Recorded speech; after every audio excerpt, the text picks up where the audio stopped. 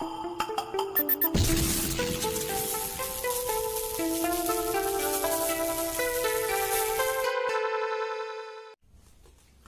जय हिंद बच्चों कैसे हैं आप लोग बच्चों? आज आपके लिए लेके आए हैं calculation of theoretical yield different numerical problems में इसका जानना ज़रूरी है क्योंकि परसेंटेज ईल्ड पे बहुत सारे क्वेश्चन बनते हैं परसेंटेज एटम इकोनॉमी पे क्वेश्चन बनते हैं। वहाँ पे अगर आपको ईल्ड निकालना नहीं आता है या ईल्ड कंसेप्ट में कंफ्यूजन है तो आपको प्रॉब्लम होने वाली है। तो, तो ये प्रॉब्लम आपको ना हो इसके लिए हम लोग आज इसको सोर्ट आउट करते हैं। तो चलिए शुरू करते हैं थियोरटिकल ईल्ड बच्चों थियोरटिकल ईल्ड को हिंदी में सैद्धांतिक उपज भी कहते हैं। मान लीजिए, आप कोई काम करते हैं, कोई फैक्ट्री चलाते हैं तो उस फैक्ट्री में कितना प्रोडक्ट बनना चाहिए? जब आप उस माल को कैलकुलेट करते हैं प्रोडक्ट को कैलकुलेट करते हैं तो ये कहलाती है कैलकुलेशन ऑफ़ ईल्ड तो बच्चों थियोरटिकल ईल्ड का मतलब होता है how much product should form in a balance equation किसी भी बैलेंस केमिकल इक्वेशन में कितना उत्पाद या प्रोडक्ट बनना चाहिए,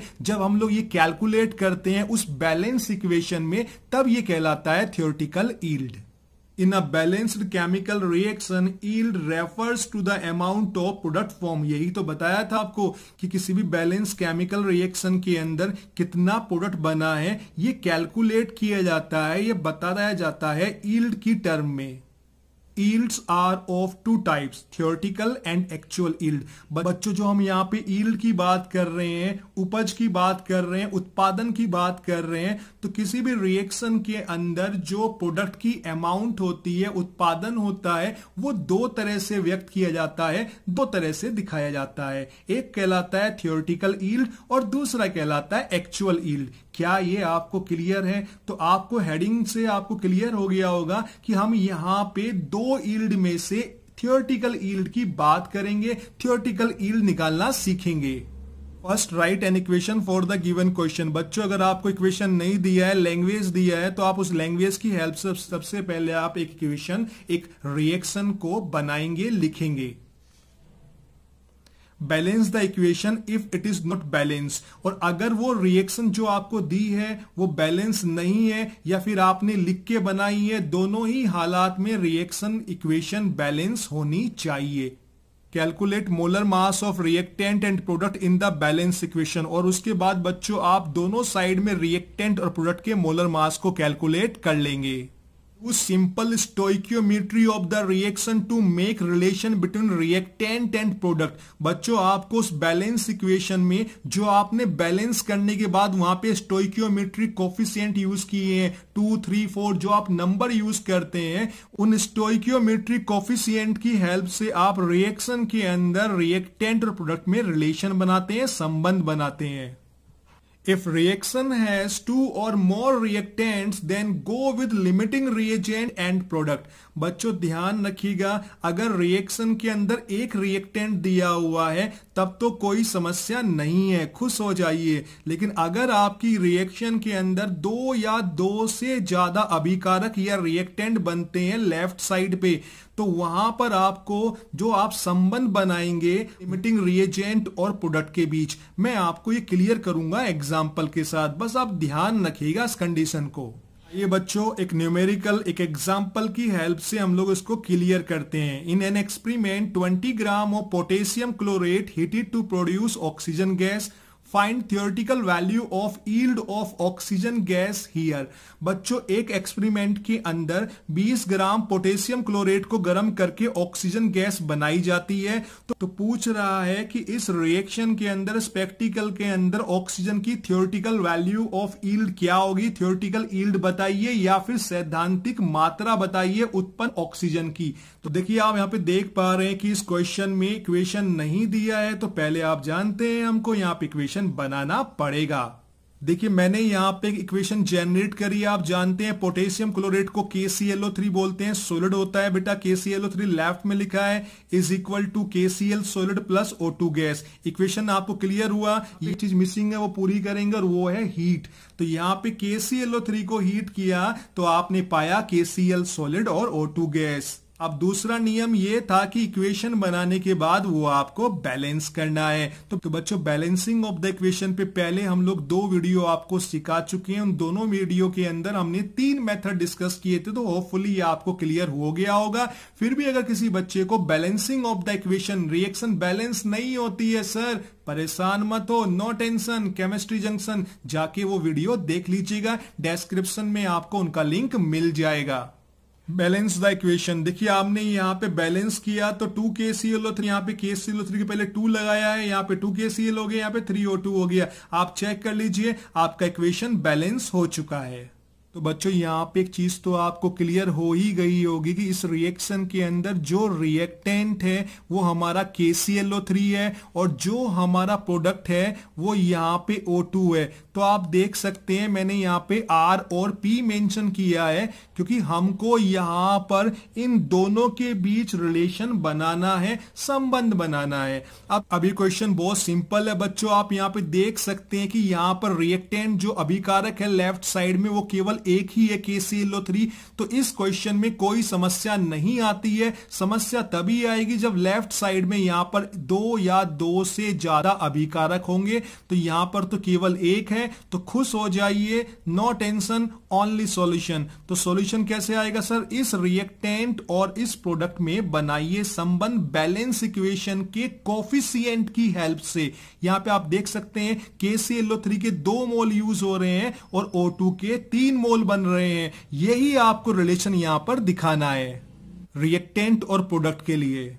अब बच्चों, यहाँ पे इस क्वेश्चन के अंदर जो आपको दिया है, जो आप जानते हैं, उसको हम लोग समेराइज कर लेते हैं। तो बच्चों, आप देख सकते हैं वेट और मास ऑफ़ के सी थ्री जिसको डब्ल्यू के से दिखाया है। ट्वेंटी ग्राम क्वेश्चन में दिया था, ऊपर आप देख के आए हैं। Molar mass of K C L O three के एम से दिखाते हैं. M K C L O three is equal to one twenty two point five five gram per mole clear हुआ? एक मोल के सी एल ओ थ्री का जो द्रव्यमान होगा, वो 122.55 ग्राम होगा। क्या ये आपको क्लियर है? ये मोलर मास है बच्चों के सी एल ओ थ्री का, जिसको कैपिटल एम से दिखाया है। जानते हैं कि डाइऑक्सीजन गैस का मोलर मास, जिसको एम ओ टू से दिखाया है 32 ग्राम पर मोल होता है। यानी एक मोल ओ टू का द्रव्यमान 32 ग्राम होगा। क्या ये क्लियर है आपको? हमारा जो टारगेट है यहाँ पे वो आपको दिखाई दे रहा है कि इस क्वेश्चन के अंदर थियोरटिकल ईल्ड निकालना है आपको डाई ऑक्सीजन गैस का मात्रा की इस बैलेंस इक्वेशन में कितना O2 आना चाहिए, वो हमको यहाँ पे थियोरटिकल अमाउंट निकालनी बाकी है। अब आप जानते हैं कि आपकी रिएक्शन बैलेंस हो चुकी है, चीज़ें साफ़ हैं तो अब आपको इस रिएक्टेंट और प्रोडक्ट में रिलेशन संबंध बनाना है by using stoichiometry of the reactant and product यहाँ पे इनके स्टोइक्योमेट्री कोफिशियंट जो है रिएक्टेंट के और प्रोडक्ट के, तीन और दो जो दिख रहे हैं, इनको हम लोग यूज़ करने वाले हैं। बच्चों, आपने देखा था बैलेंस इक्वेशन में दो मोल के सी एल ओ थ्री के गर्म करने पे आपको three mole O two product के मिले थे। अगर अब मैं एक मोल के सी एल ओ थ्री का लेता हूँ तो बताइए ओ टू गैस कितना मिलेगा? Three by two mole. Clear है आपको? वेरी गुड बच्चों, यहाँ पे मोल का संबंध आया है K C L O three reactant और ओ टू गैस प्रोडक्ट के बीच में। इसको हम लोग अमाउंट में कन्वर्ट करेंगे। तो एक मोल में तो हो गया 122.55 ग्राम के सी एल ओ थ्री जो देता है three by two into thirty two gram क्योंकि एक मोल में थर्टी टू ग्राम होता है तो थ्री बाई टू में कितना होगा? मल्टीप्लाई कर दीजिए तो ओ टू गैस के ग्राम आपको मिल जाएँगे। क्या ये क्लियर है आपको? तो अब तक आपने देखा कि यहाँ पे हमने जो स्टोइक्योमेट्रिक कोफिशियंट थे रिएक्शन के अंदर बैलेंस इक्वेशन में, उनको यूज़ करके K C L O three reactant और ओ टू गैस प्रोडक्ट में हमने संबंध स्थापित कर लिया है अमाउंट निकाल ली है। लेकिन इस क्वेश्चन में दिया था कि 40 ग्राम के सी एल ओ थ्री गर्म करें तो ओ टू गैस की यहाँ पर थियोरटिकल ईल्ड बताइए। तो बच्चों थ्री बाई के लिए क्या हो जाएगा? थर्टी टू इंटू फोर्टी और डिवाइड बाय हो जाएगा one twenty two point five five तो यहाँ से आ गया आपका 15.67 ग्राम O2 गैस। बच्चों, ये ही है आपकी और हमारी थियोरटिकल ईल्ड इतना इतना हमको O2 इस बैलेंस इक्वेशन में बनना चाहिए ऑन द पेपर और ये कभी भी संभव नहीं होता है। तो इस तरीके से हम लोग किसी भी बैलेंस इक्वेशन में थियोरटिकल ईल्ड निकाल लेते हैं। थियोरटिकल ईल्ड बच्चों 100 परसेंट ईल्ड होती है 100 परसेंट मात्रा होती है किसी भी प्रोडक्ट की, किसी भी उत्पाद की। क्या ये आपको क्लियर है? नहीं क्लियर है? तो मैं दूसरे एग्ज़ाम्पल को लेता हूँ, उससे आपको डेफिनेटली क्लियर हो जाएगा। Find theoretical yield of sodium sulfate when 32.18 gram of sulfuric acid reacts with excess of sodium hydroxide to produce 37.91 gram of sodium sulfate बच्चों सिंपल सा क्वेश्चन है सल्फ्यूरिक एसिड का रिएक्शन सोडियम हाइड्रोक्साइड से कराया है जिससे हमारा सोडियम सल्फेट बनता है 37.91 ग्राम कहता है कि 32.18 ग्राम सल्फ्यूरिक एसिड को अगर अतिरिक्त या एक्सेस ऑफ़ सोडियम हाइड्रोक्साइड के साथ गर्म किया जाए मिक्स किया जाए तो बताइए थियोरटिकल ईल्ड क्या होगी बनने वाले सोडियम सल्फेट की? क्या है क्लियर आपको? अब देखिए, यहाँ पे रिएक्शन नहीं दिया है रूल्स हम लोग जानते हैं, पहले हम लोग इक्वेशन बनाते हैं। तो बच्चों, आप देख पा रहे हैं इक्वेशन हमारी तैयार हो गई है, लेकिन बैलेंस नहीं है। तो अगला स्टेप भी आप जानते हैं बैलेंस कर लेते हैं, आइए। तो ये देखिए, हमारी रिएक्शन बैलेंस हो चुकी है। आप देख पा रहे हैं S two S four aqueous plus two N H aqueous is equal to two mole of S two O plus N A two S O four sir reaction ready है। बच्चों उसके बाद आप यहाँ पे देख सकते हैं गिवन है मास ऑफ़ एस्टोसोफोर यहाँ पे एस्टोसोफोर की अमाउंट दिया था, द्रव्यमान दिया था डब्लू से दिखाते हैं डब्लू माने वेट होता है बेटा डब्लू एस्टोसोफोर दिया था 32.18 ग्राम क्वेश्चन के अंदर, और आप जानते हैं कि मोलर मास जो होगा एस्टोसोफोर का, आणविक द्रव्यमान जिसको बोलते हैं हिंदी में एम से दिखाते हैं मोलर मास एम एस्टोसोफोर होगा 98.08 ग्राम पर मोल एक मोल एस्टोसोफोर का जो द्रव्यमान होगा, मात्रा मात्रा जो होगी वो 98.08 ग्राम होती है।